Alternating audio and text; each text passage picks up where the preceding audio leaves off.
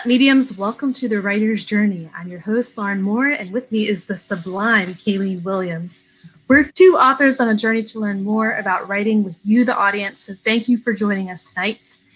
This episode's book spotlight is Great Stories Don't Write Themselves by Larry Brooks. And tonight we've got the author on the show to talk to you about how you can plot the best version of your story. So, Larry Brooks, welcome to the show. Hey, thanks for having me. I'm the old guy at the bottom of the screen, in case anybody's wondering. So, yeah, that's me. We had you on back in was it September or October? It was somewhere in that time frame. Yeah, it was when good. this this book first came out, and mm-hmm. now we're back on to do like a part two. Um, so, how have you been in the meantime? How's your winter been? Uh, it's been okay. You know, when you launch a book, eh, you put on a whole different hat than the writing hat and uh, I'm not. I haven't self. I've only self-published one book, so anymore the promotional effort required of an author is the same whether you publish traditionally or you're self-published. It's the same drill. So mm -hmm. some of that was just kind of not second nature to me. So uh, it's been tough, you know, but mm -hmm. uh, it's kind of fun too because every time you hit the keyboard and hit enter, something goes out there, and you hope for the best. And uh, yeah, it's it's been an adventure. Yeah, I just went to a, a writers' conference in Colorado, um, Superstars Writers' Conference, and a lot of the authors out there are hoping to be traditionally published. Right. Um, so they're they're in the same they're in the same boat as you, trying to get well. You you have an agent. They're looking for an agent. They're looking right. for an editor. They're trying to get published.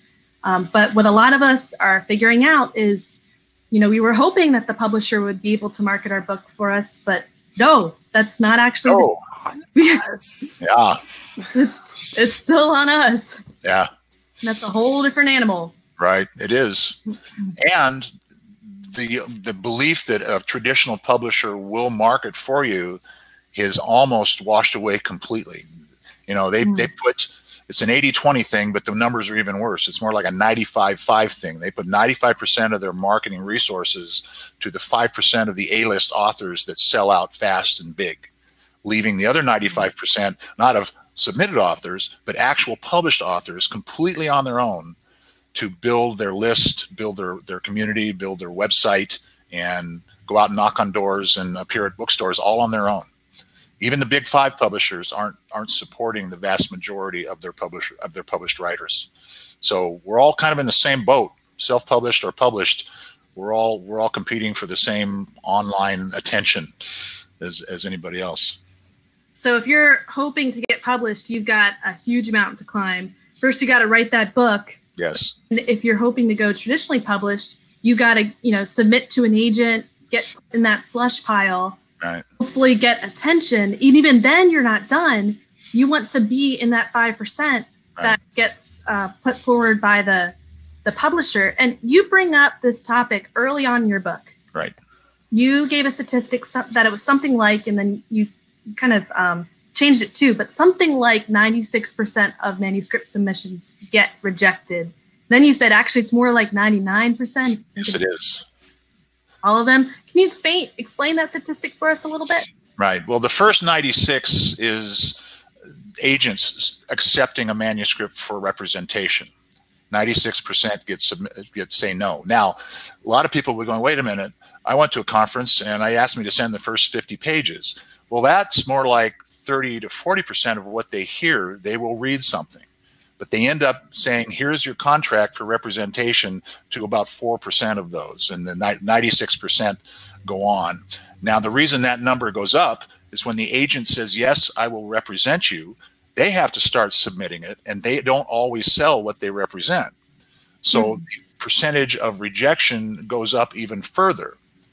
And then when you factor in, if it isn't just getting published, it's actually reaching a big audience, the little sliver of published books that actually earn back their advance and mm-hmm. start a career. Now, that's all really depressing stuff. I, I actually don't like talking or writing about it, but the reason I do is that it emphasizes that the qualitative bar for our storytelling is so high yeah. we need to really focus on that because there's a lot about the outcome we really have no control over. Mm -hmm. You know, you hear all these bestsellers like The Help, for example, was rejected 46 times. 46 agents said no to that quasi masterpiece. Wow. Uh, the guy that wrote the uh, foreword to my book, Robert Dugoni, sold 5 million copies of his novels. His mm-hmm. first novel was rejected by agents 42 times by agents. So you think the agents know all and see all. They don't. They rejected these guys all those times. So what really matters is the perseverance of the writer, the ability to take feedback and mold and revise their work, and then understand where that qualitative bar is and how to reach it. Mm-hmm.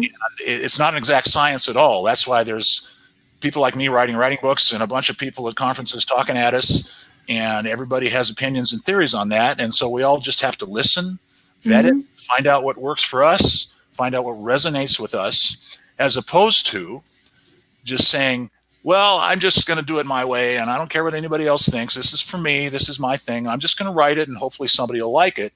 And on the other hand, secretly longing for it to find an audience, find an agent, find a publisher, whatever that outcome might be.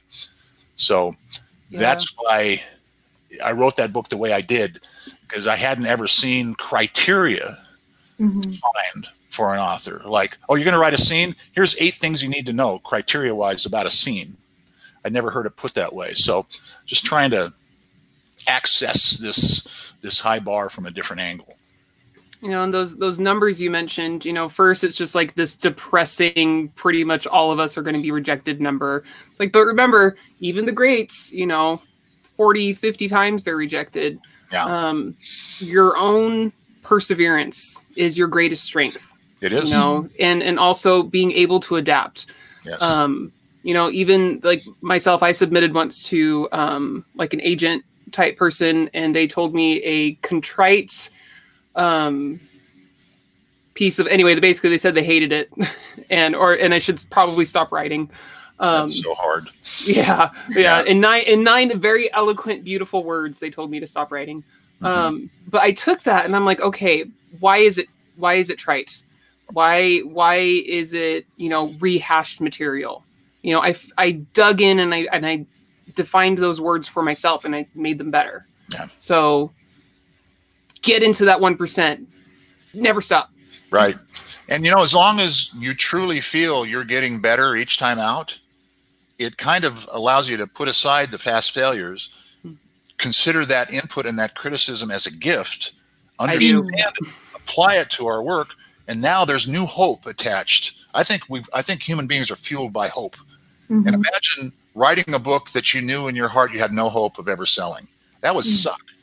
But mm-hmm. if you're getting better every time you sit down to write, it's new hope coming into the equation and the thing you're writing is better than the last thing you did, or the draft mm-hmm. of this novel is better than the one before it because of something you've perceived, learned, applied, something finally snapped for you, the light bulb went off, and you mm-hmm. get it.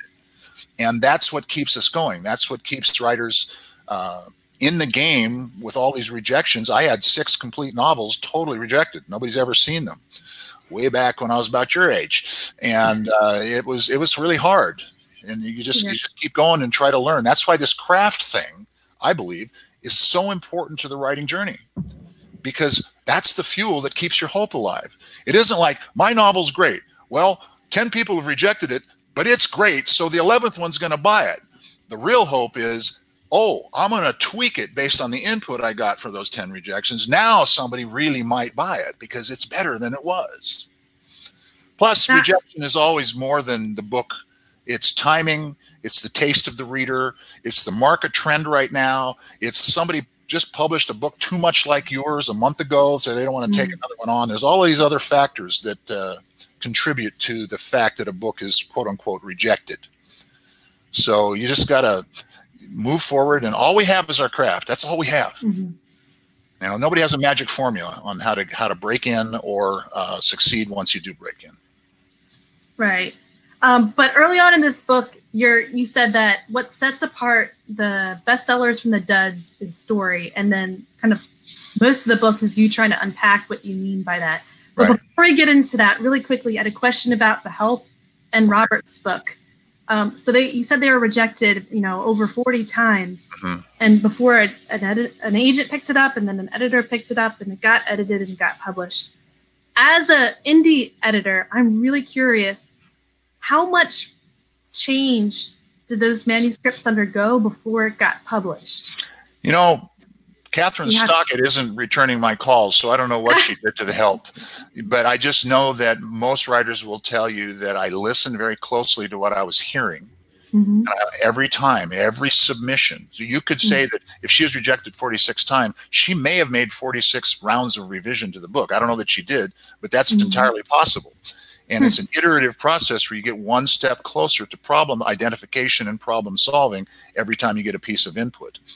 Hmm. So but then you're kind of putting all your eggs in the basket of execution of the novel. And there's the factor of what is the big idea of the novel in the first place, which is often a factor in its ability to appeal to people.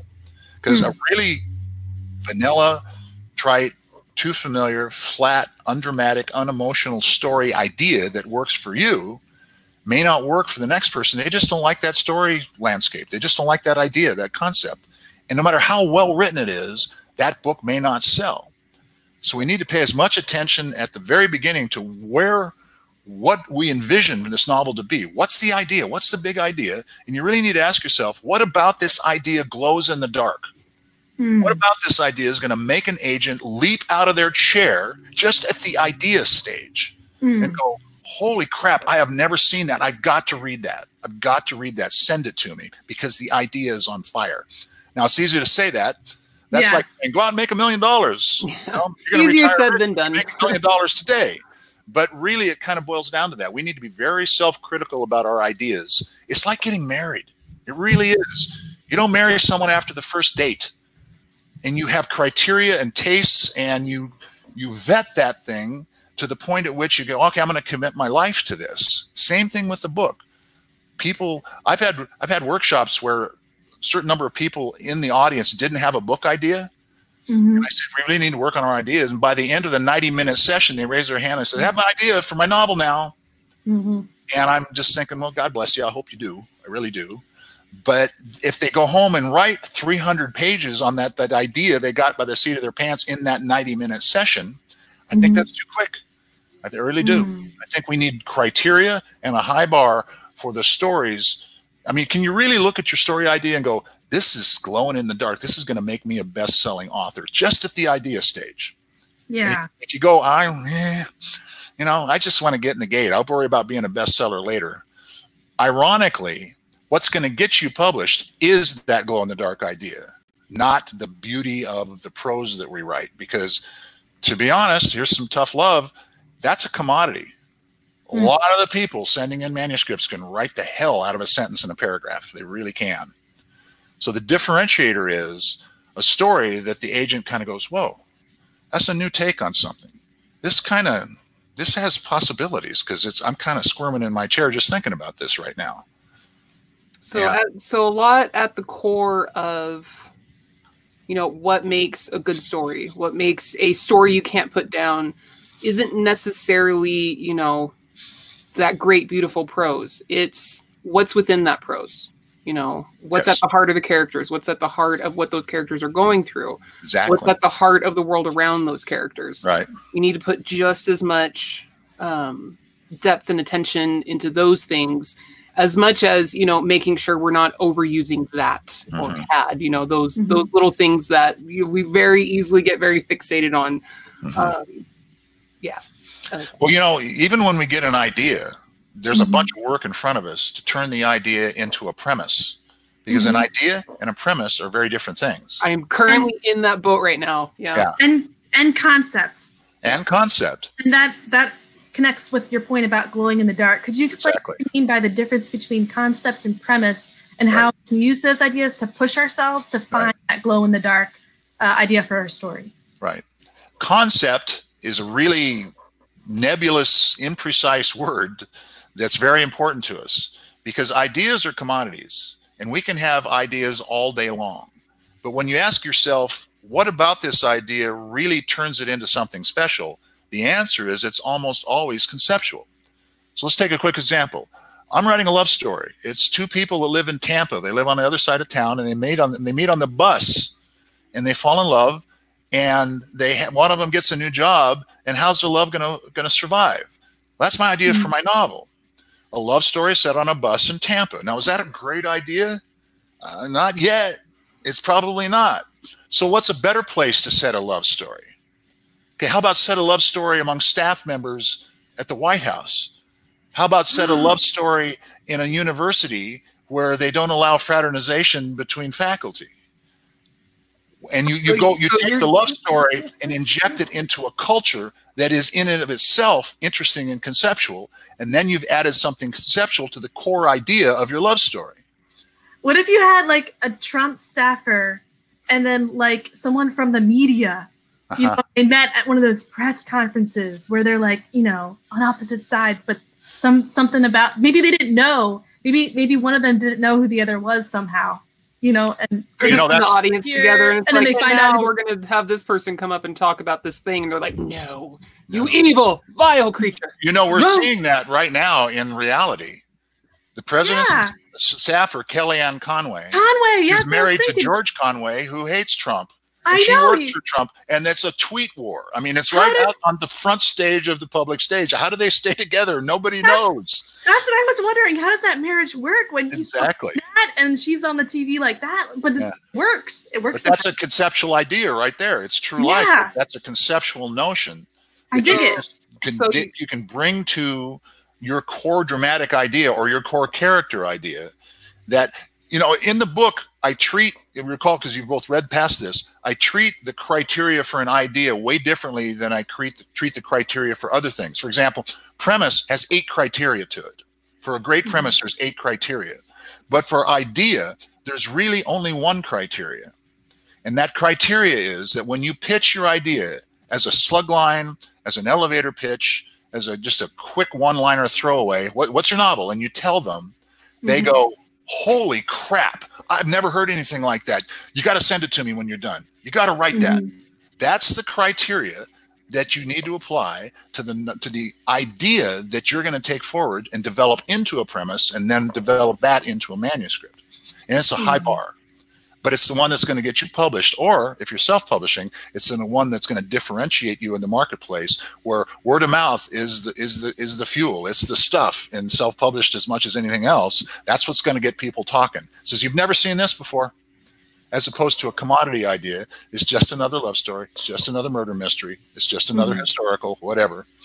What's the secret sauce? What's the conceptual gravy that is poured over this idea that fuels the premise that you haven't even written yet. Mm-hmm. So wrapping your idea in almost, um, it's, I mean, because you're not rewriting anything, you know, no. it's like everyone knows, you know, college things, political things, but you're upping the ante, you're upping the stakes, you're upping mm-hmm. the potential right. tension of either your main character, main characters, mm-hmm. and everything around them. So take bland and throw color on it. And you know that that's such a personal thing because what might appeal to us as a glow in the dark idea mm-hmm. may not have a wider interpretation that matches our own feelings about it. So what happens among a lot of people at all levels is they get an idea, they're lit, all lit up by it, and they sit down and they don't actually develop it. They just start writing it. Now that's a way to get there. You know, in, in the mm-hmm. process spectrum, it doesn't matter how you develop the idea.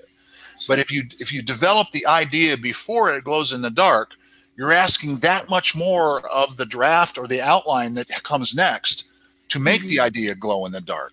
What if it started out glowing in the dark? What if you spent some time on the story idea itself and added a bunch of meat and a bunch of radioactivity to it so that it's just irresistible? You can't wait to write it, but you mm. do wait to write it because you let that fester and just get to a point where it must be written because this is just too good not to write.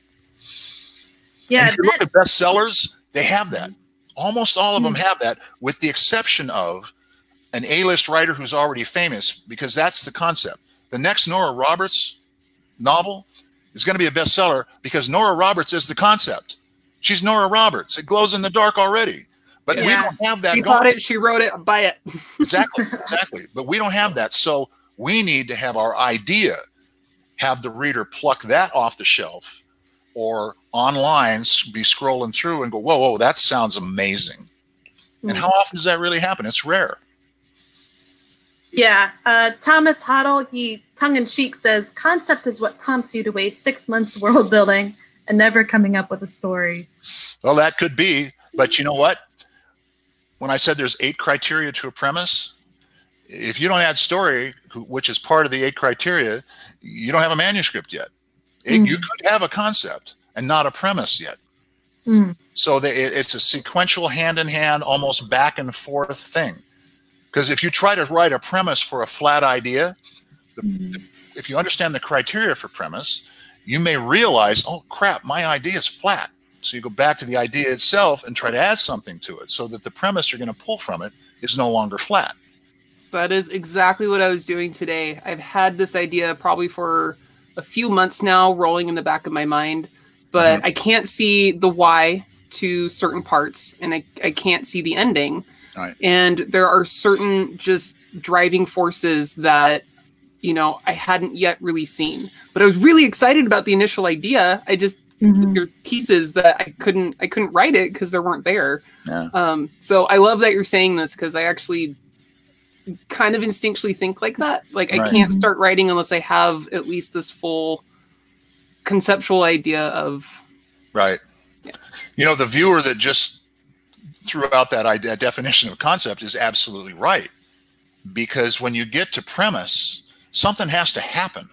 And it's more than just story world. So story world is very often the juice that makes an idea go in a historical novel. It's what chunk of history are you placing the story in? That's the concept. That's do we does the reader want to vicariously go to that time in history? That's why they're mm-hmm. going to read the book. But what that isn't going to sustain, it isn't going to fuel all eight points of the criteria for premise. So if you if you start to understand and value the criteria for premise, and whether you're writing a draft looking for those eight or not, or outlining or just brainstorming it, that's the goal for the for the next thing. You move from idea to premise, and then premise grows into whatever you're going to do. Write a draft, write an outline, mm-hmm. write a beat sheet, throw sticky notes up against the wall. However you do it, um, it's it's understanding retroactively what you're working with and mm-hmm. allowing the criteria for where you are as a standard, as a benchmark to allow you to assess if the things you've done until now are really working or not. Hmm. oh, yeah. I met an author recently who publishes once or twice a month. Uh-huh. The way he does it is he starts with a concept, like um, maybe a concept for John Wick would be, you know, 60 year old assassin trying to retire gets pulled back into into the dark world through revenge. Yes. For revenge. Okay, that's the concept behind John Wick, but that's not the premise. Correct. Right? The premise would be different for each of those movies, for each of those books. Exactly right. So he'll to start with. Don't take that for granted, by the way. A lot of people don't know that that's exactly right. I read your book very carefully to figure yeah. out what's the difference between concept and premise because I knew it was important. So yeah, um, but thank you. You explained it very well because you used a lot of different examples, and, and, then eventually I got it, and I was like, oh, it's John Wick. Um, so okay, so he gets a concept, and then from that he gets the plot for each of those books. Yes. And as he figures out the plot, he turns it into an outline, and he uses your four act structure to do this. And then he, fleshes, he, yeah, he fleshes out the outline until he has all the beats in each of the scenes figured out. If right. there's conversations and he thinks of conversation, he types that out the outline, Kayleen, the outline ends up being like 10,000 words before he starts writing the draft. So he essentially has a draft before he even starts writing it. But that way, he can make changes to the scenes and chapters and do all that developmental editing right. to this really fleshed out outline. And when he starts writing, he's ready to go and he gets that book done and then he gets that book published. You know, there's people that that's you thoroughly, accurately, beautifully described the story planner plotter process. But there's people listening to you right now that are starting to either fog out, get mad, or they maybe they've already turned away. They're saying, I don't write that way. I can't do that. I'm a pantser. But you know what? The pantser has to do that in a draft. and Kaylee, uh, Lauren, you and I talked about that in an email in preparing for this show. Is that the the the pantser and the planner are doing the exact same thing in terms of the goal. They're both fleshing out the whole premise and how to put flesh on those eight parts of the premise. Whether it's in a draft or an outline, the reader will never know, and the reader will never care if you're a, a planner or a plot or a pantser. They don't know, they don't care, they don't want to hear that. So it's what works for us. So really, pantsing isn't necessarily inferior or superior to outlining because both take you to the point you just described. I now see the whole story. I may have it in what I'm calling a first draft, but I know now because I know the story, because no story is really going to work well until you know the ending, by the way. A lot of yeah. people don't get that, but that's the truth. I can't I can't really write hardly if unless I know the ending. exactly, because it's all in context to something. So ending is the context because you have to lay those seeds and the foreshadowing and the pacing all juxtaposed against how the ending is going to be. So until we get there, until we get major milestone points on the way there, it doesn't matter whether you outline it, use sticky notes, three by five cards, uh, a piece of Scrivener software, whatever you do, or a draft. You know, uh, in our in our email, you mentioned Stephen King. He's a pantser, so he he wouldn't ever outline anything. What about that? And the answer is that maybe we shouldn't try to write like Stephen King until we know what Stephen King knows. And if you look at pantsers who are frustrated and never publish anything over years, but they're die-hard pantsers, they may not have let in what they need to know about storytelling. Whereas people like King and Dugoni, who wrote my foreword, and writers like that, they have learned these principles and criteria to the extent it is their instinct it dumps out of their head in alignment with all of the criteria that are in, available to us to help us get to that end game. So let's say we we accept because I do that the first major plot point that launches your dramatic arc has to come into the story somewhere around the 20th to 25th percentile. That's not formula, that's gravity. You do that earlier and the reader isn't invested in the character. You do it later, the reader's bored by when are you going to get to something? So that's the sweet spot of that. Stephen King knows that. So when he's pantsing and he's got he's 80 pages in, he knows I got to change this story right here. I can't go to page 140 and do it. Of course, he can because he writes 1,200 page manuscripts. So the 20th percentile is way down the road. But he understands that four part flow, and it they just they think that way, they write that way, and then they like to go to conference and saying, you know, I don't plan anything out. I just sit down and I write, and you know, and I just I just sense the story. It's just like a pilot flying an airplane without a flight plan. They're still going to get there and they're going to land safely because they know. And yeah. a lot of new writers don't know because there's a lot to know. There's a lot of principles involved in making a story work over the arc of 400 pages. You know, it, is, like, it isn't simple and it isn't a straight line, right? So I think the more we know, the more we know, and the, the you know the more informed our process is. I'm not advocating story plotting over pantsing. I'm advocating applying principle based, instinctually fueled awareness of what a story needs to do, in what order, and how and when to the work you're doing, however you're doing it. So here's I mean, here's a good example of like what you're talking about from you know another art medium mm-hmm. right? So um, a watercolorist. Yes. You know, they have very specific things that they they need to follow in order to create a beautiful watercolor. Right. You know, if you lay down all of the dark colors first, you are not going to get anything bright. You have to lay down all your bright stuff first and kind of build it backwards. Because yes. if you don't build it backwards, you can't put light on top of dark in watercolor. Right. You know, so that's like, you know, part of we need to understand what the premise, the concept, the idea, and how those fit together. That's like how you fit together watercolor, or that blue and red are going to make purple. That yellow and orange are no wait blue and anyway, y'all don't know what I'm talking about. I'm nervous it's now. A, it's a but, great example. It really is because you know, they may not be sure what the picture is yet, but they know damn well they don't start at the foreground and worry about the background later. They just know it. It's a principle. My wife's a painter. She talks about this all the time. Loves to talk. Yeah. She hears me do this stuff all the time, so she understands what I'm saying. She loves to draw those comparisons.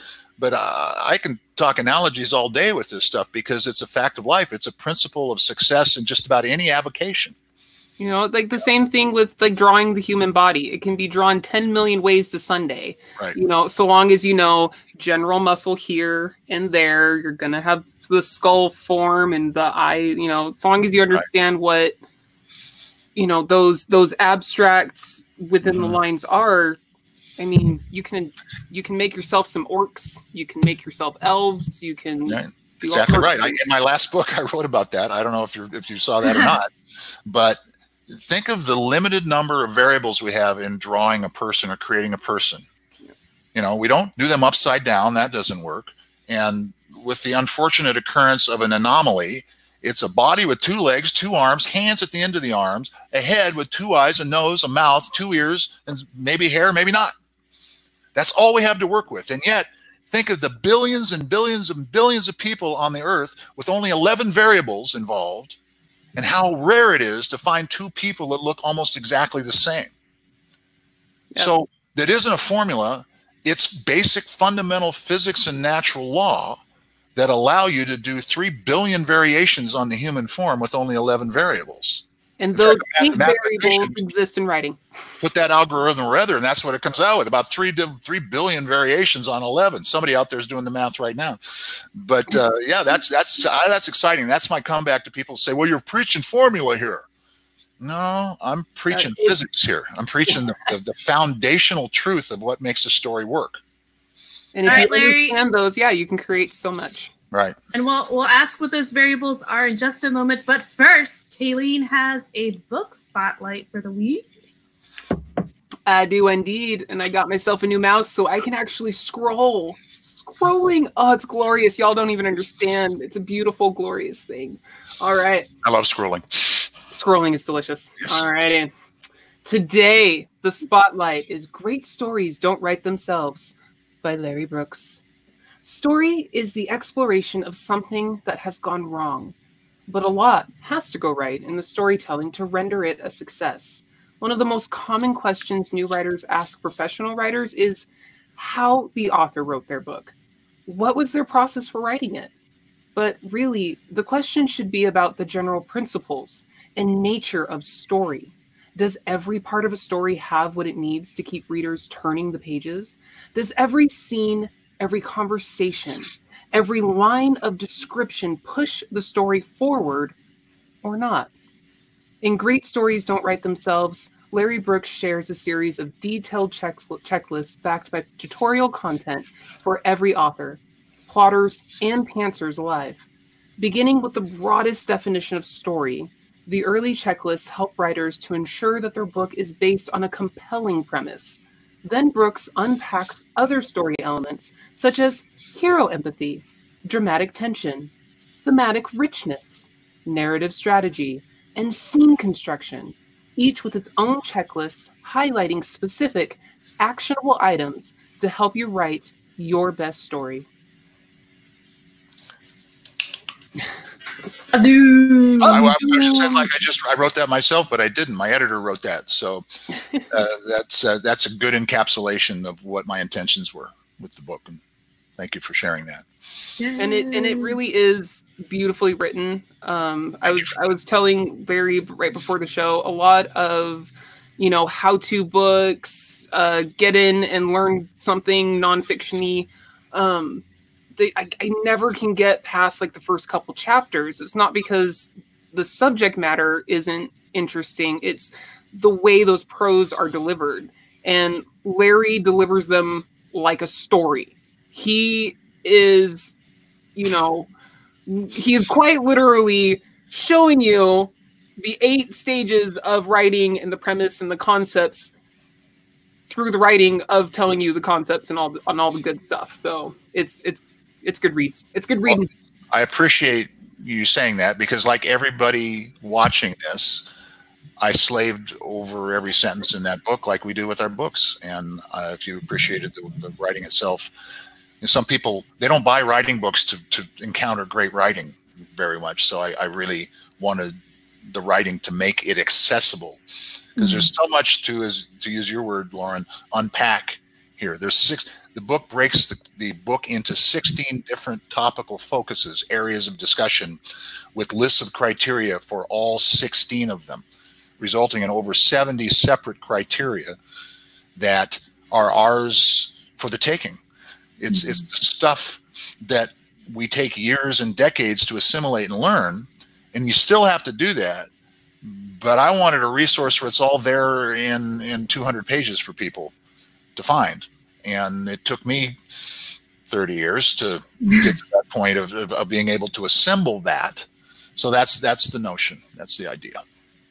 Guys we keep on talking about the book because we we have an eye on the time and we know that we are 35 minutes in and we basically scratched the surface of what's in there. And this is our apology to you the audience that we cannot touch on on all of this but we're going to try our best in this episode so yeah. Right. What are some of those general principles of story and what's the nature of story that we need to keep in mind when we're coming up with our concept, our premise, and then writing our draft and all that stuff? Right. Y'all have hung on this long. Here's the movie.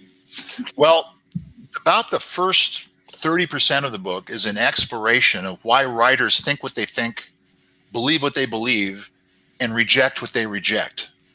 And a lot of it has to go with we're hearing what we're told is conventional wisdom out of the mouths of other writers. Mm. And that's true for me as a writer who's writing a book about writing. So we're all on our own to assimilate, process, and vet this stuff. But I tell the story in the book of a writer who sold 11 million copies of her eight novels. Have you gotten to that part yet? Eight, and she's incredible. I won't tell your name. Incredibly, incredibly famous. She's had two movies made of her books, and Writer's Digest did a cover article on her a couple years ago. And in the interview, this author says, "Well, you know, every time I sit down, this just seems like a big mountain to me, and I realize I really don't know what I'm doing, and I really don't know how I'm going to get there, and I don't know how I got there last time." Oh man. So what do you make of that? What's the new writer think when they hear an 11 million copy selling author saying that to us? Hmm. One of the things they can take away from that, well, there really isn't anything I can learn. I just have to sit and sweat blood out of my forehead for 12 years before I get to her point. Well, sweating blood out of our foreheads kind of endemic to what we do and you're going to do it but it's a question whether you do it for 12 weeks or 12 years because there's what you're really trying to get to are these principles that this writer I don't know. I don't know her, so I don't. I don't want to speak ill of her. But it just sounds so romantic and mysterious, doesn't it? When you say, "I just don't know what I'm doing," but I sit down and somehow this happens at my keyboard, and you're going to get another bestseller out of it. No, she instinctually understands certain things, and she applies them to the work as she's doing it. And whether she has decided to not think about what those things are, or doesn't want to tell anybody else what she understands about them or maybe, because some writers think this, it's such a personal thing. Who am I to tell someone else what's true and untrue about writing mm. a book? You got to discover that for yourself. But nonetheless, she's proof of her own, of, of, the flip side of her own statement. She very much knows how to do this. Yeah. How to, how to do what? And the answer is there's, I think there's a handful of real core magic pills here that I've like I said, I've been doing this a long time. I've encountered other writers who have been frustrated for 25, 30 years. They haven't published a thing. They're still doing it. God love them. That's amazing to me. And they really in. And, and this is put out before them. And they go, How come I haven't heard this in 30 years? Well, I'm not the only person that does this. James Scott Bell writes about the same stuff I do structurally in almost the exact same words. I call it the first plot point. He calls it the doorway of no return. It's the exact same thing. And when you start listening to people like us, who I hate the word writing guru, but people who write and talk about writing and have a few books of their own, hopefully, to, to make us a little bit credible, we're saying the same thing because we're talking about a core set of principles. In the same way that people who design airplanes they aren't just they aren't coming up with a new design every time. It's the same physics, it's the same natural laws that every person designing an airplane has to understand and has to apply. Same hmm. thing with telling a novel-length story. Mm-hmm. If you depart from that, it's no longer a novel. It's a memoir, it's a diary, it's an essay, it's a character sketch. It's not really a novel when you start to depart from these core things. Okay, what is those core things? The answer is something has to go wrong in your story. So you present a character in their world, and something is about to go wrong with their world.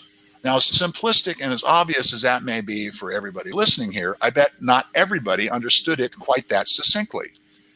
It isn't a story about your year after graduate school when you moved to Saigon to live abroad for a year and you had adventures. The end. That's a memoir. But I hear that kind of novel pitched all the time. Nothing went wrong. I had that exact pitch at a conference and I asked the girl, I said, So what went wrong in Saigon? She looked at me and says, Well, nothing. It was a blast. and I said, So you're going to write about your blast in Saigon? She said, Yes. And you're, you're sure it's a novel because a novel's fiction. She says, Yo, yeah, I'm going to exaggerate some things. And it's just, it's a, a writer who doesn't know what they don't know. And I think that's a really important phrase, and we need to be vulnerable to that phrase. We know certain things, and we may accept that there's things we don't know, but we don't even know what those things we don't know are yet. Mm. So we need to be sponges. We need to take all this in. And one of those things is it isn't a story until something goes wrong. Mystery writers say it isn't a story until a guy with a gun shows up. I mean, there's all kinds of little memes that are this. We're saying the same thing. Something has to go wrong. From there, dramatically, pace-wise, now you've all heard of three-act structure. Three-act structure is really the entry-level, simplistic, overly simplistic way to describe how a story unfolds there's really four major context shifts in a novel, and that's the secret weapon. And you see it in every movie preview, you see it in mm-hmm. every book jacket of a novel. You, if you know what these four are, you can see them alluded to in these movie previews. If you have smart TV and one of the stations on your smart TV is movie previews, go watch 20 movie previews and watch this happen. The first plot point is always in every movie preview. It's a structural thing that's there because the people doing it know that's what the whole story is draped over. That's what it hinges upon. So the first of the four contexts is the character isn't fully immersed in the dramatic inevitability of what the story has in store for them. It's coming, it's being set up, but we meet the character, we see the story world, we establish the story world, we establish the stakes, we begin to feel for this person, and then the sky falls. Or the, the curtain opens and they have a whole new opportunity or something that thrusts them down a new path, not the same path exactly, a new path. The context has shifted from setting up the story to the second quartile where the hero is responding to that moment where they have to have to react to something. Something happens, the hero has to react to it. For that second quartile of the book, they're reacting, and that's literally where things get worse before they get better hmm. because something has gone wrong. It's going to get more wrong in that second quartile. The dramatic tension is going to jack up. We're going to enter. We're going to meet whoever the antagonist is, and then the story is going to change again right in the middle of the story. The midpoint is an as, as essential a story milestone as that first plot point was, where the sky falls. New information is going to enter the story, and that character who was basically running or reacting or being a victim or whatever's going on realizes they have to change or they're not going to make they're not going to reach the goal.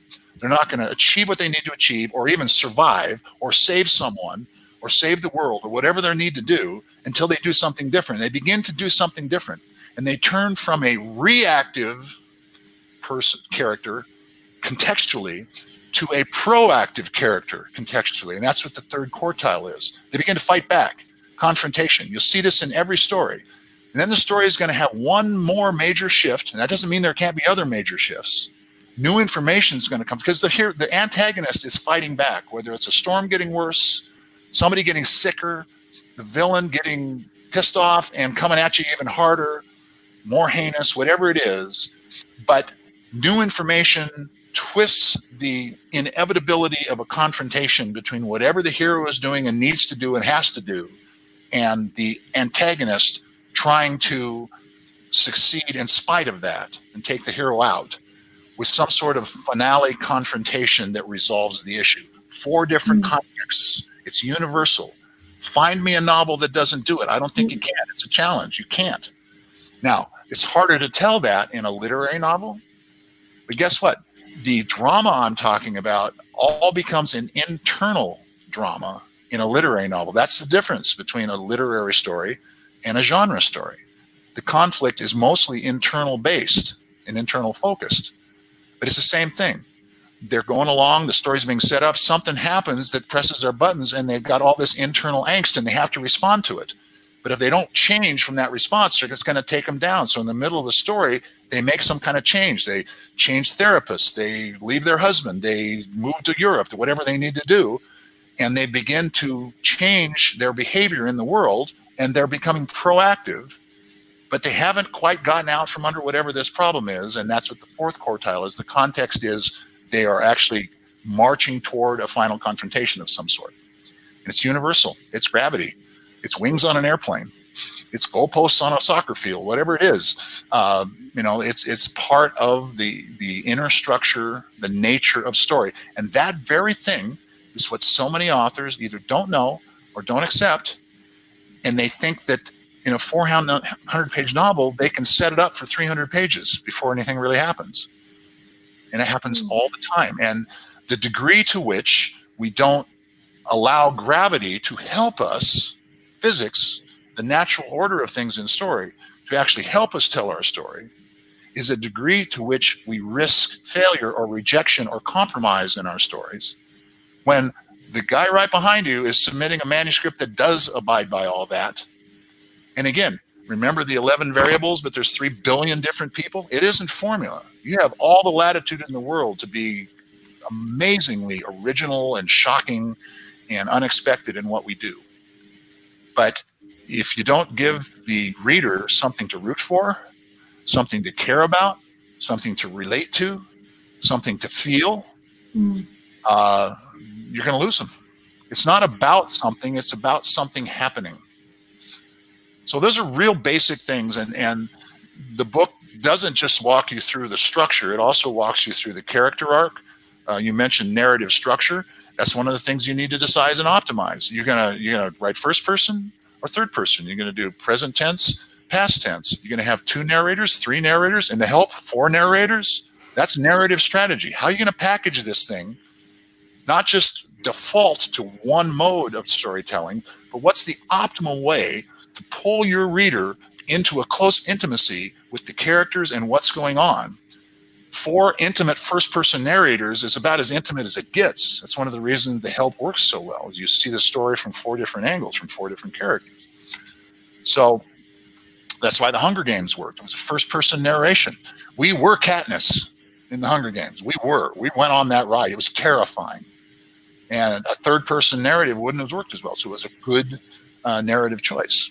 So this is all these things, 16 basic areas of decision making we need to make but the, the direction, the, the principles of what will work, I like to think of it as best practices. Mm-hmm. It's like you go to the doctor. Don't you want your doctor to be using best practices in the medical field instead of either not caring or just doing it any way they feel like today? I'm going to try this this way today. Never done that before. No, you want your doctor to do it with best practices. There are best practices for novelists. There are best practices within every genre of the storytelling because among the people watching this, I bet we're touching every genre today, from literary mm-hmm. science fiction to paranormal to historical to fantasy to mashups of all those things.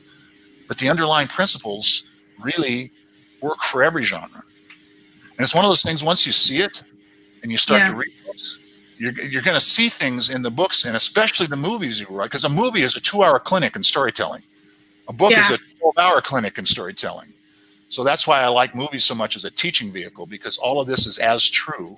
Now, there's exceptions to all this, more so in movies, by the way, um, where you know it's a it's truly a character study and there really isn't any plot of any kind and all of that stuff.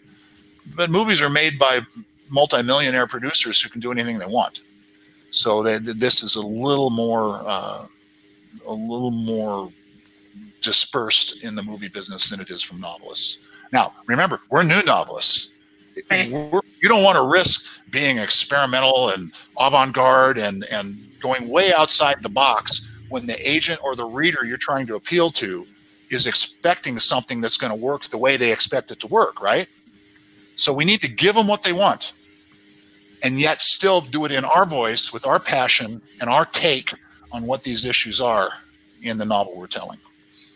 I like that you approach books and movies and Netflix and whatever, uh, trying to sit, ask yourself what makes this story work, and then how can I use it. Know, if you are part of the show, or if you're watching the show, I think we're you know kind of nerds together in this that we like to figure out how does this work? Mhm. Let's open up the trunk on this, or open up the hood. Sorry, wrong part of the car. Open up the hood, figure out how it works, figure out how the pieces interact, and then how can we use this in our story too? Uh, now, last time you were here, we came up with a premise together uh, for a story. And let's say, audience, this is you. You're you just have a premise for your story, and you're trying to figure out how you're you're going to plot it. Uh, I think what Larry, what you're saying is that you start with the premise, start by figuring out who your character is at the be- very beginning, what the conflict is, and what they're where they're going to be at the end, and then how can you push them to get there? What inner conflicts are they going to have to face and resolve in order to attack the outer conflict? Right. Now, let, to, just as an example, let's take a look at uh, the premise we came up with last last time you're here. A couple with a marriage on the rocks takes their family on a camping trip in a last ditch effort to find the glue that keeps them together. They must work together to stay alive after a mysterious cr- creature steals their child. Right. So, So what can you let's do with that? Okay, so you we mentioned a lot of things um, um, a little bit ago about decisions an author will have to make. Right. One of them that jumps out to me now that we could answer is like narrative strategy for this. Kayleen, what do you think? Uh, what narrative strategy, like one first person perspective uh, or third person perspective, or Um, I perspective, think what a, would you do? I think a multiple POV third person would be really strong for this one because you could get glimpses of what the child's going through. Um, laying clues, you could get glimpses between the mom and the dad, and you know how they're fighting. Um, if you can weave in um, the God freaking words, stop leaving me. Uh, flashbacks. Um, that might be really cool. Um, but you know, yeah, no, I like that. You know, I, Yeah. I like what you say. I'd flip it to first person. Imagine a, a husband and a wife getting in their head. They're on a camping trip, and neither one of them are really crazy about the other right now. Neither one of them thinks this is going to work, but they had to make the commitment to try. So here they are out in the woods. They'd really rather be someone else. And you find out that the wife really would rather be with one particular someone else that the husband doesn't know about. And therein are things that could happen right there because Well, this creature yeah.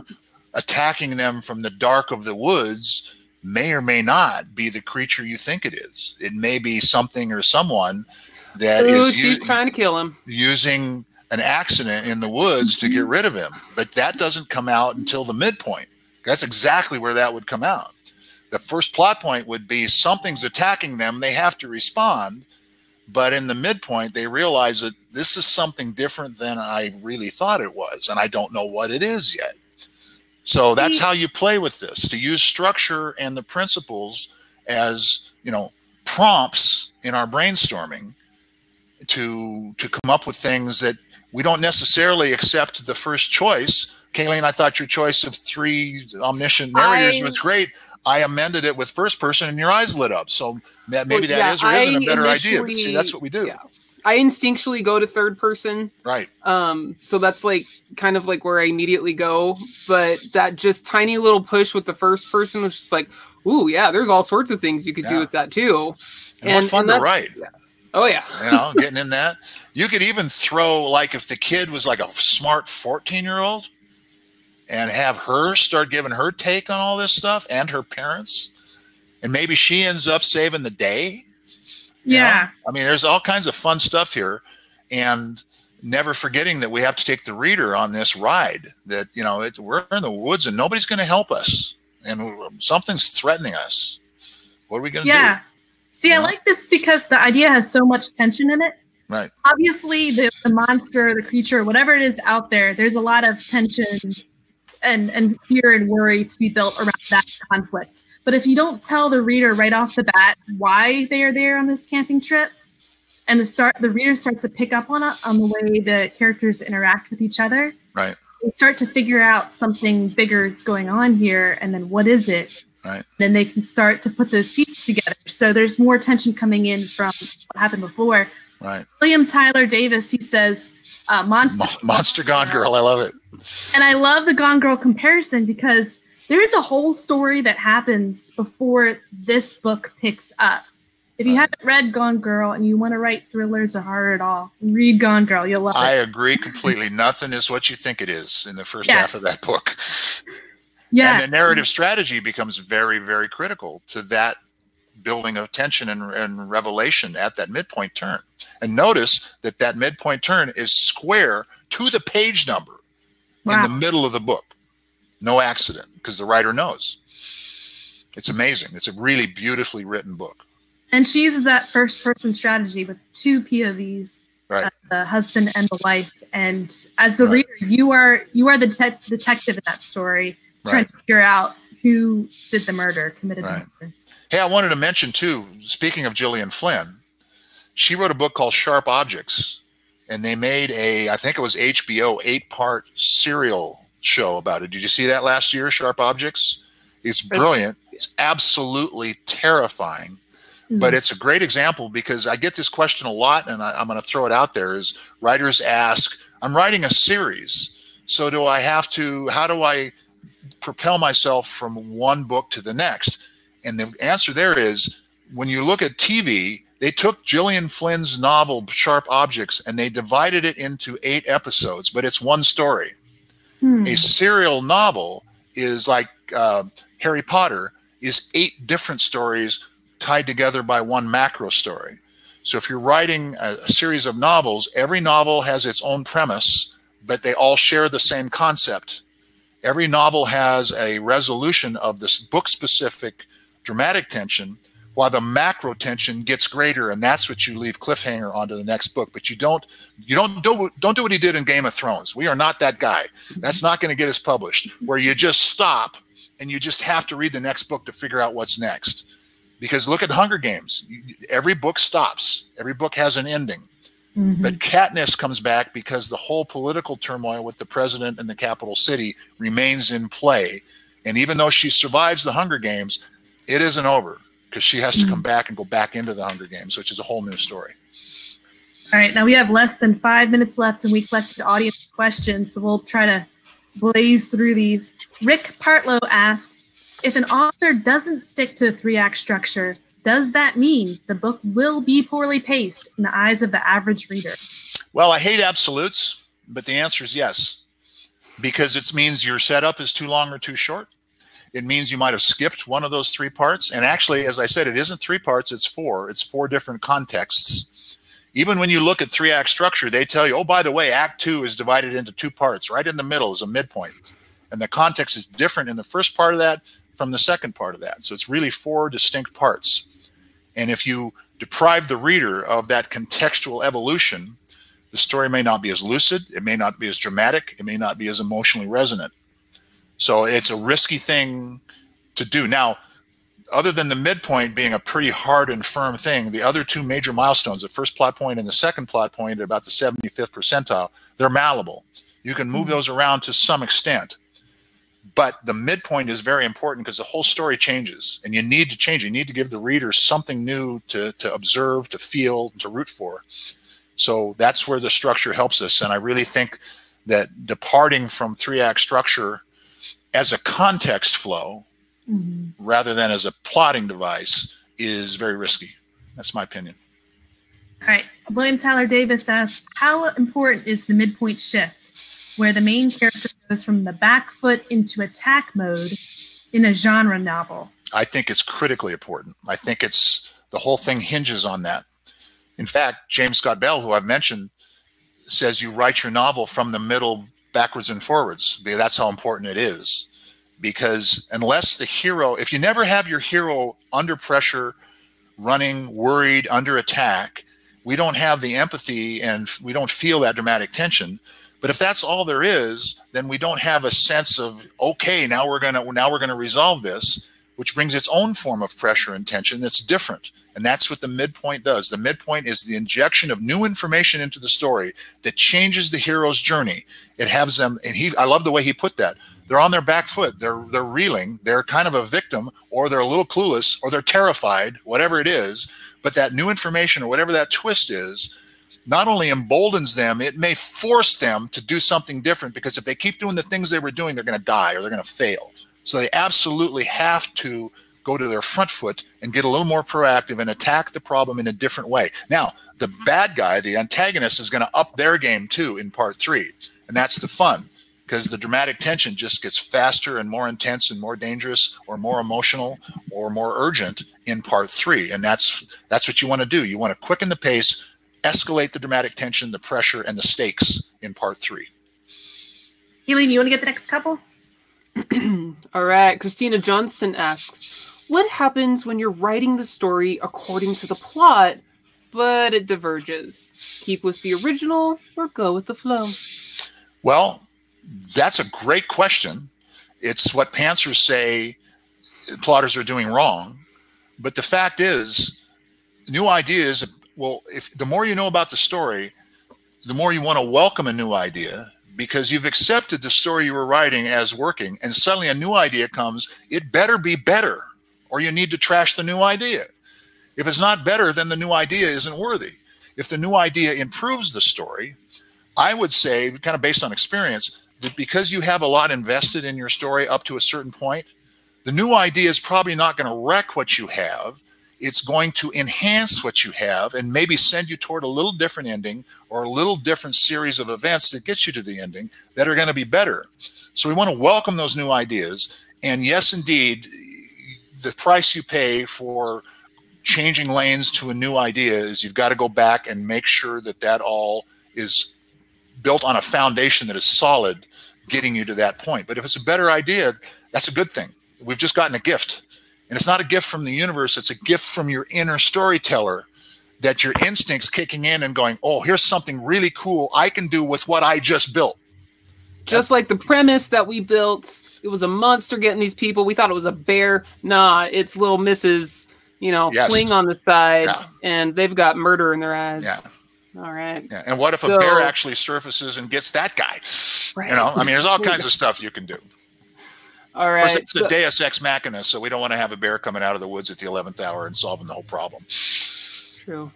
Unless you set it up and the people expect a bear to come. Exactly.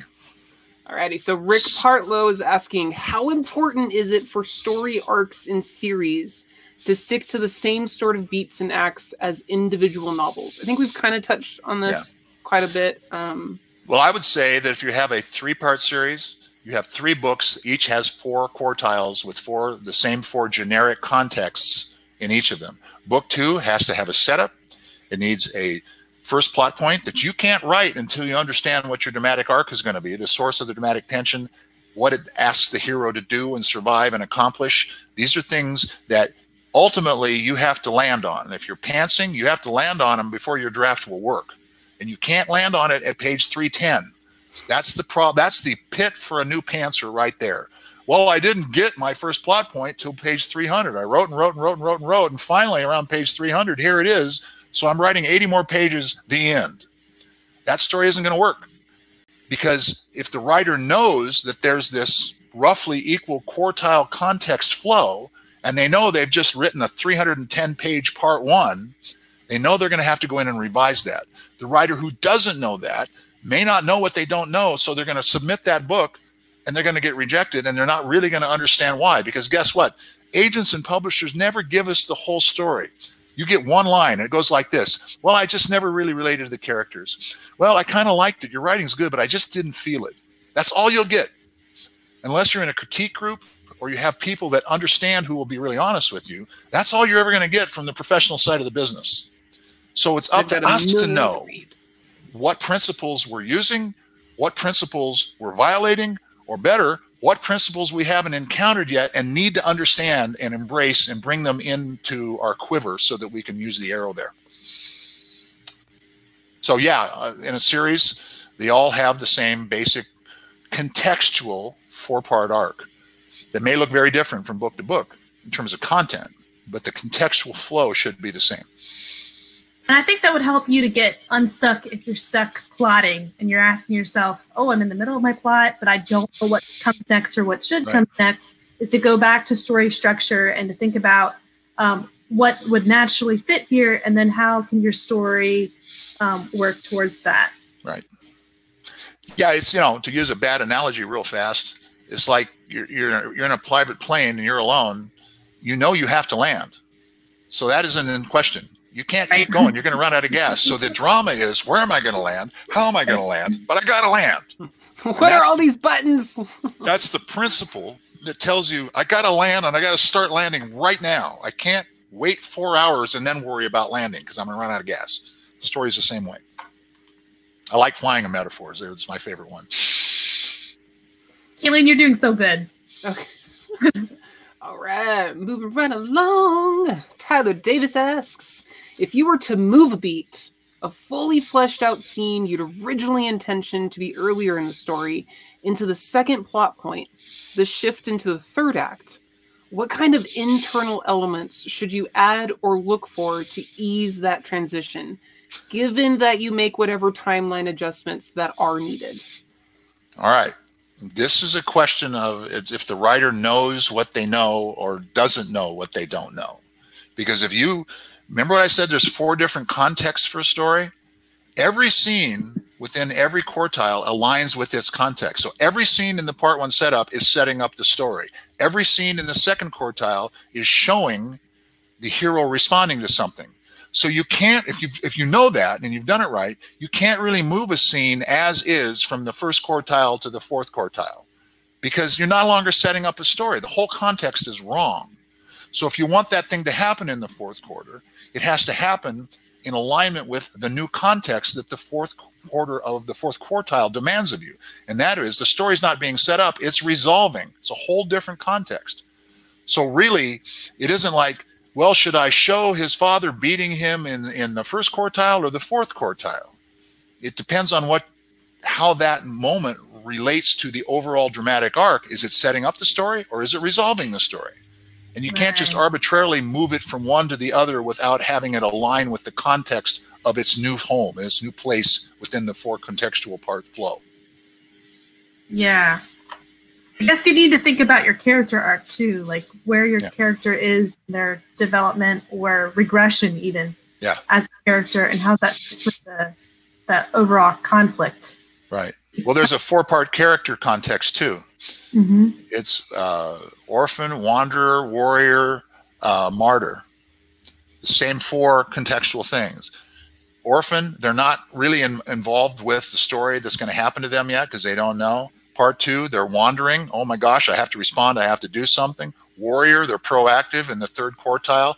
Martyr, they do what they have to do to save the day, achieve what they need to save, get done what they need to get done to resolve the story the way that you know you don't have to have a happy ending. So it's the way you the author need to resolve it. But it has to be the hero striving for a virtuous outcome of some sort.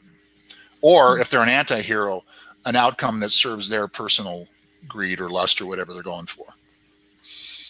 All right. Um, william tyler davis says i write cozies what character arc. Exactly No, there's a character arc. Yes, there is. Yes, there they is. start out and they have a hole in their hearts, right? Yeah. You've got a hole in their life that the other one fills. Characters what makes the story cozy, right? right. So yeah. See, and then and also all all you people watching, listening, you know, that's understanding your genre. You know, we have these core principles that everything's built on, and then we have this plethora of genres to choose from Absolutely. and mismatch. But to mismatch, you need to understand, you know, what makes a fantasy work that has dragons and magical powers. Well, your, you know, magical power thing should make sense as far as that core, you know, but you're going to inject a murder mystery. Probably need to understand how a murder mystery kind of works and what those little tropes are and right. clues and whatnot. Um, That's a great word, and I'm glad you said it. Is that if you're going to write in a genre, understand the genre no don't don't rely on i don't know what i don't know you need to know about your genre and its tropes and its expectations and the way they're built they're still going to be built on the same four contextual flow i promise you but the setup in a fantasy novel looks way different than the setup in a love story because mm-hmm. in a mm-hmm. fantasy novel it's way about world building and in a mm-hmm. love story it's way about character building so they're both set up but they're different things driven by the genre all right, last question, real quick. Lawrence Simpson asks, "How do I know which subplots to keep?" Well, subplots are you. There's one thing you need to ask of your subplot, and that's that it contribute either to character arc and resolution or dramatic arc and resolution. If the subplot mm. doesn't contribute to either one of those, then it's an arbitrary sideline, and you might look at why you want to tell this subplot. And I like to think of where you put a subplot with the visualization of a bridge, and a bridge with three pillars in the water, and then attached to both shores of a river. That's exactly like a story because what you have are four parts to the bridge. You have three foundations first plot point, midpoint, second plot point. All the weight hangs on those three parts, but you can drape anything you want over the railing anywhere in that four part structure of the bridge because it's going to be fine because the core structure of the dramatic arc is, is in place for you. So really you wrap your your subplot around your main story arc progression and you kind of have to make a judgment of where am I best served to uh, start this subplot, shift the subplot, evolve the subplot, and resolve the sub subplot. And you'll find it's going to align with the same four contextual descriptors. You're going to set it up, you're going to put your character into motion, but it's not going to go well. You're going to put the character into proactive mode, it's going to get better, and then it's going to resolve itself. And the subplot often comes forward and comes to the front of the stage and becomes a factor in the resolution of the whole story. So right. it's it's great to have a great powerful subplot to do that, but it can't come out of the blue. You have to set mm-hmm. it up. You have to let the reader relate to it. So when it does come back in as an important factor at the end, uh, it makes sense, or surprises the crap out of you. One or the other. Yeah, it's got to be integrally connected with that main conflict, and right. it doesn't have to be in an obvious way, especially not at the start. But by the end, all those pieces have to come together. And right. your reader will thank you if you do that. And your editor will thank you if you cut out anything that does not have to do with that main story. Right. Um, but I'm thinking of Dickens novels where he has all these separate plots that you, when you're first reading it, you don't know how they're connected at all. But by the end, they just come together in this magical way. And you're like, right. They're all connected. Yeah. He's Dickens after all. So. He's Dickens. Yeah. Yeah. he does that. Yeah. yeah. Have you ever noticed too that when in genre, when a book is character driven, it's the dramatic arc that's kind of the subplot. And when a book is dram- dramatically driven, plot driven, it's the characterization that becomes a bit mm. of a hmm. subplot, like a love mm-hmm. story mm-hmm. or a forgiveness story or a person doesn't know who they are subplot while they're dealing with the dramatic task you've asked them to encounter and resolve, or the other way around. Mm. The best way to do character arc is put your characters in perilous, demanding, high pressure situations then you see who your characters are. Yeah, turn up the heat. Exactly, turn up the heat. Put them in a tree and you light it on fire. There you go. Watch them jump over a cliff. Yeah, onto rocks. Yes. Oh, gosh, there she goes. and that's how you write. No. That's right. That's right. right. So, oh my god, we could probably go for like another five hours. I bet know? we could.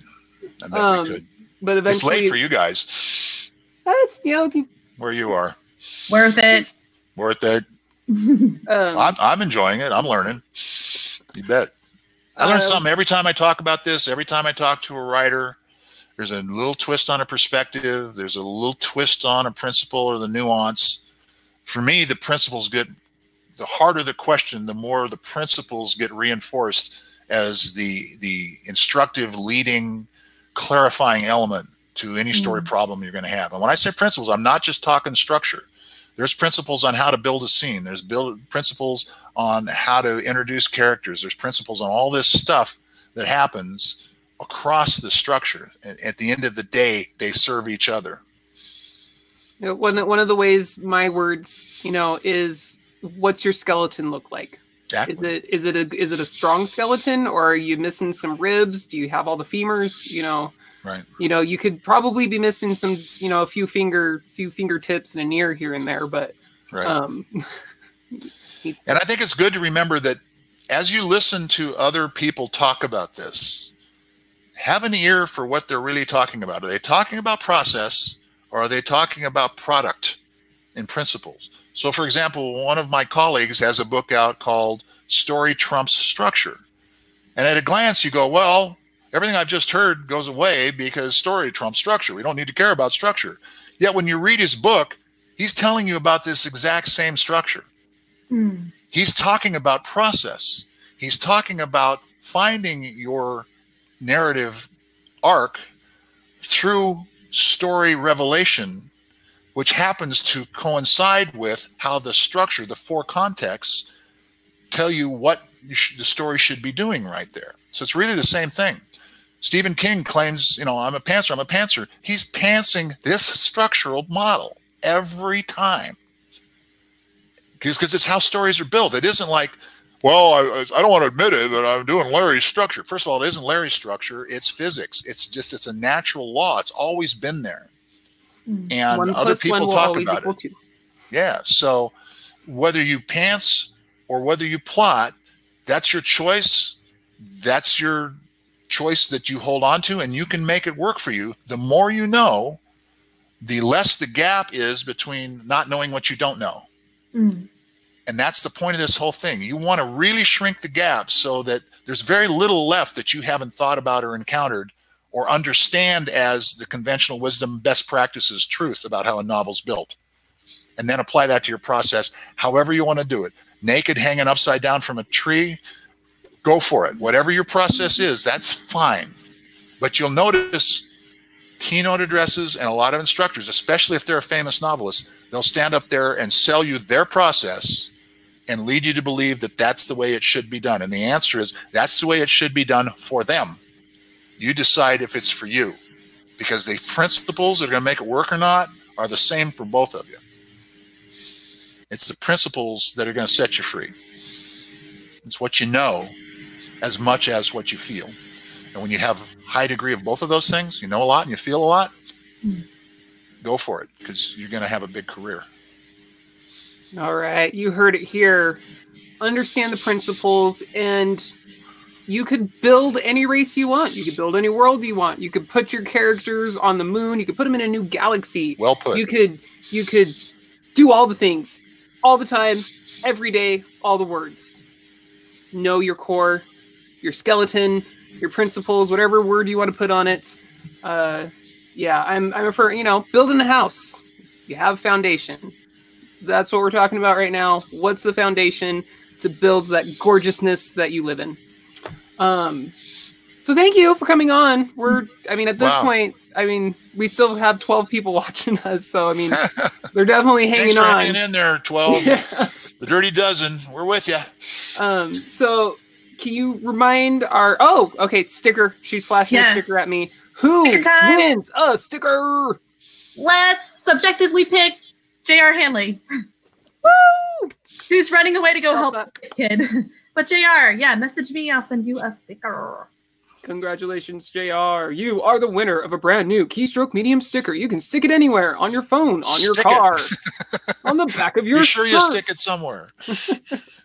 All right. Can, Larry, can you remind our viewers, listeners, where they can find you and your work if they want to internet sure. stalk you gently? Yeah, I have a website, uh, Storyfix one word, storyfix.com. I just put up a guest post from another novelist today, so you might want her work out. She has a beautiful take on uh, the bloodletting and the and angst of what it what it takes from us. So it's nice to know we're not alone. And uh, I have over a thousand posts on the site on anything you can think of about doing this work. A lot of it about these principles. And you can contact me through the site and i'm happy to chat with you and try to answer. I certainly don't know everything so if, if i've ever sounded in any point in this thing that i sound like i think i know everything i don't. So i just want to get you thinking about principles as my foundational purpose here and i can point you towards some principles that maybe have helped you if you need it all right wonderfully said Thank y'all for listening, viewing, hanging out with us, hitting that subscribe button, smashing that like button, and leaving us all the comments and dinging the bell. You got to do all ding. of them so that you ding know when got to ding the bell. I don't know how to do that, but I'd be dinging if I had a bell here. So thanks you so, two for having me and everybody for listening. I appreciate it. Yes, we appreciate you. Um, I really need to finish that book because it's just all the juices, all the flowing, all the goodness it's fantastic. Hey, All leave a review when you're done. I'd appreciate that. Amazon's. And... Uh, have you ever noticed that the reviews are getting harder and harder to come by, even for established writers and stuff? It's it's really oh, changing. Yeah. yeah. So it is. use the help. Alrighty. Y'all heard it here. We're going to be back next week. Talk about more reading, writing, and everything in between right here on Keystroke Medium's, The Writer's Journey. Good night, guys.